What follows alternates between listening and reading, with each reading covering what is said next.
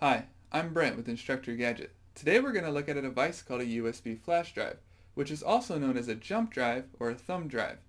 Flash drives are small storage devices to which you can copy files, and they've become quite popular because it's very easy to transfer files from the flash drive to your computer. They also have a larger capacity compared to CDs or DVDs. And unlike external hard drives which have moving parts, flash drives are very durable. Due to their small size, they're also very portable and reasonably priced. Today we're going to look at copying files from your computer to the flash drive.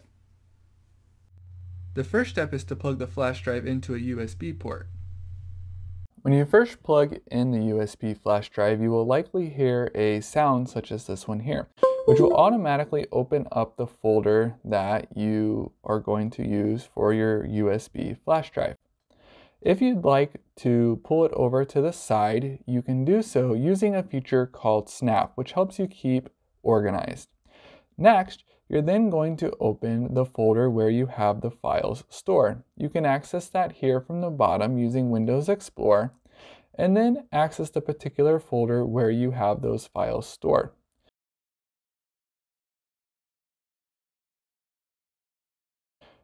From there, you're going to copy those files by clicking on them.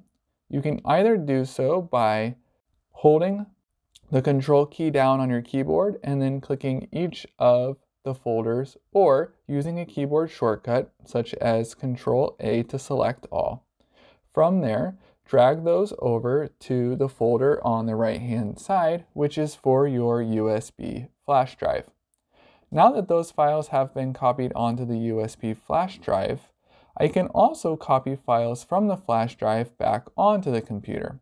So for instance, if I wanted to copy this PowerPoint presentation, I'll open the folder for files for presentation, and then I can right click on that file and either cut or copy the file, and then similarly paste it into the particular folder on my computer where I want to store it. The difference between cut and copy is that cut is going to remove the file from the folder that you are taking it from, whereas copy is going to leave a copy while also allowing you to paste it into the new destination.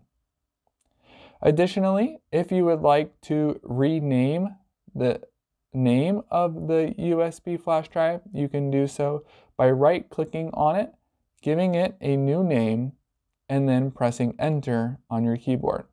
Notice that it won't immediately display the new name. However, after you have closed the folder, you will see it update such as you see here.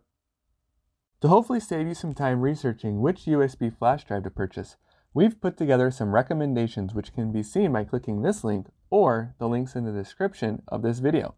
Instructor Gadget may receive compensation if you make a purchase using one of our affiliate links. However, we value your trust above all, and we will never recommend a product we do not genuinely believe in. Drop us a comment if you liked our recommendation, were unsatisfied with it, or found a better product that we should recommend instead. Thank you for watching this episode of Instructor Gadget. If you found this episode useful, make sure to like it, share it with friends, and subscribe. For clear, step by step instructions on additional topics, check out our series on storage and backup options or one of these episodes.